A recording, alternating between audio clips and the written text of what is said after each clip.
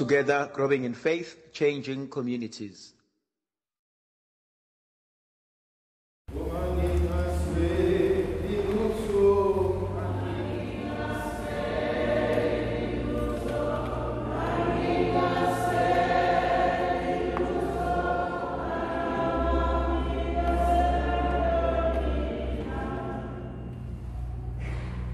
Together, growing in faith, changing communities. My dear brothers and sisters, today I would like us to reflect on the Gospel of Luke chapter 9, verse 28 to verse 36. At that time, as Jesus was going to the mountain, as he was going to a desert, as he was going to a lonely place, he was coming to a place where he wants to meet God. He was coming to a place where he was to find himself. He was coming to a place where he was to, to fight his own demons, to, to struggle with himself. He says, I want to go, I need to come out, I need to take time out and to deal with me. And to deal with myself outside of the busy life. And I think we need that in our lives.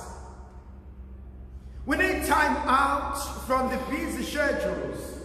We need time out from the business of life, the noise of the kids, the competition at work, the frustration of life, the inability to pay the bills. Because, dear brothers and sisters, I can have wealth, I can have big cars. I can have beautiful, luxurious houses and homes. But if I don't have good health, if I don't have a good relationship with God, that's all is a waste. And so the first thing, we all need time out to be with God. But we also need time out to be by ourselves and to deal with ourselves. But in the process of doing that, Jesus takes Peter, James, and John.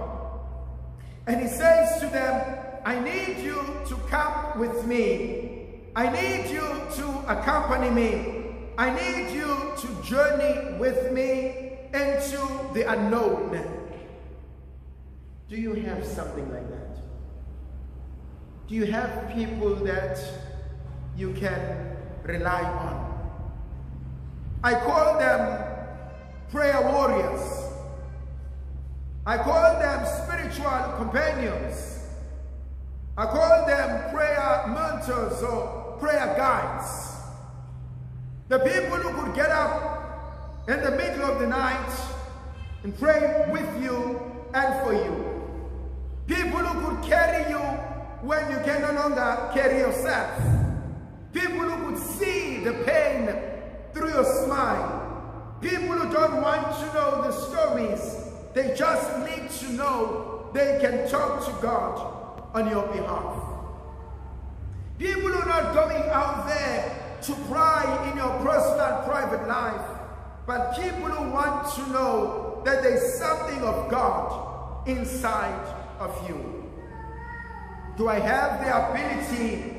Do I have the humility to ask for help? There's a great temptation in most of us in life where I think I'm okay, where I think I can do it on my own, where I think I don't need anybody else. And in every spiritual growth, we always somehow need a guide. We always somehow need that star that leads us to the truth. So the first one, am I willing to go out and take time out and be by myself with God? The second one, do I have people that I can call on, that I know that they can pray with me and for me?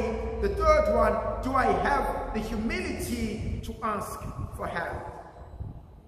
But also, as we out to the mountain, as Jesus went out to the mountain, then he prayed. He spoke to God. And he allowed God to speak to him. Am I open to, to listen to God? To listen to his word? In the scriptures, in the events of our lives, in our struggles, in our failures, even in our mistakes. Can I listen to God? And what is it that God is asking of us today? What is it that God is demanding of my life today? I'm one of those who believes that we need to grow where we are planted. That God has placed us in a particular place, in time, for a particular reason and purpose. So I need to ask myself, am I growing? Am I becoming that which God wants me to become? Sometimes the soil may not be conducive, but the seed may be so great. And so a lot of work needs to be put into the soil in order that I grow and become that which God wants me to be. What then do I do with the soil? There are two things that we can do. Either we can nurture the soil and try and work with it so that we can bear fruits, or we can change the soil. And I want to talk about the concept of the soil pertaining to the people in our lives. Are you helping me to grow? Are you helping me to achieve my greatest goals in life? Because if you're not, I shouldn't be spending much time with people who do not challenge me. I shouldn't be spending much time with people who can see greatness beyond my faults, my mistakes, and my weaknesses.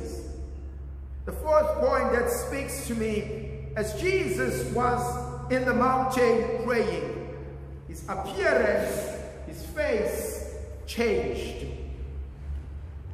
Am I changing? Am I transforming? Am I becoming better than what I was in the past? Which aspect of my life has changed? Has it changed for good, for better, or for worse? Having met you, having been in a relationship with you, having met, been married to you, having worked in this firm, have I become a better person? Or have I become bitter, angry, full of hatred? No one is stagnant in life. Either we are growing or we are regressing. But we know the truth because we live our lives. The fifth point that speaks to me absolutely profoundly. As Jesus goes out and is in the mountain, two great figures come and meet him. And these two great figures are Moses and Elijah. Moses represents the prophets and the writings, the Torah. And obviously Elijah is the greatest prophet. But there are certain truths that we can pick up from here. As often as we try to become great, as often as we try to move on in life, there will always be things from the past that have a way of coming back, either to haunt us or to affirm us. Which leads me to an important point. Have I learned to embrace the past? Have I learned to forgive the mistakes, the sins of my youth? If the past was to catch up with me, how would I be able to deal with it?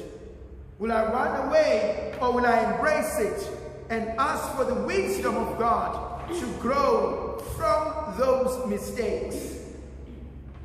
And as Jesus sits with Moses and Elijah, Peter speaks beautiful words. It is good for us to be here. It is good for us to stay in this environment. And Jesus says to him, Inasmuch as it is good, it is not good for our growth. And my dear brothers and sisters, this is quite important for me. Nobody, nobody grows in the comfort zone. If you are comfortable in your life, if nothing challenges you in your life, at your work, at home, in your relationships, be rest assured you are not growing. Do not be afraid of hard times. Do not be afraid of challenges. Do not be afraid of crucial conversations. Do not be afraid of facing your own fears. Do not be afraid of tackling the white big elephant in the room. It is only when you can have crucial conversation. It is only when you can disagree. It is only when you can argue the point that wise and matured people come out better. And so Jesus says, it is good that we hear, but it's even far more greater if we can move out of this and face the reality. So the question that I want to leave you with, what are the realities of your own life? What are the challenges in your own life? What are the challenges at work, at home, in your marriages, in your personal life? Don't run away from them. Face them. Look at them in the eye and say these words.